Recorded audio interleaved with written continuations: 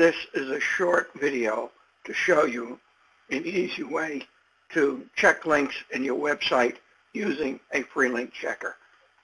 First, go to your site, copy the URL from the www section.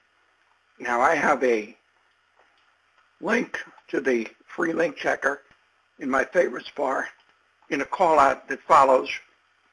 I'll give you the link to that. You can go directly there and do it yourself. You copy in your URL.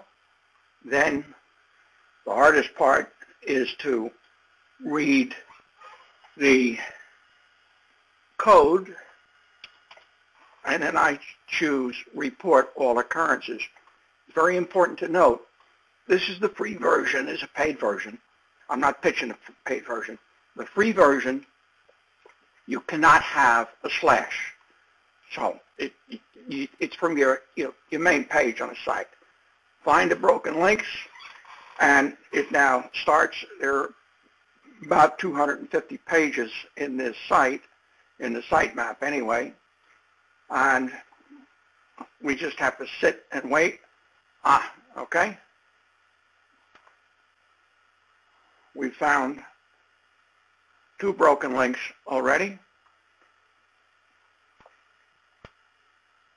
Or that's it. There were 240 pages. We can find the URL, go to the page where there is the broken link. It's a matter now of going over to our web editor and fixing the link. Like I say, we'll give you text instructions on how to do this. Link to the free link checker and other information uh, at our site. It's listed in the, the call out above. Ah, this is not done yet.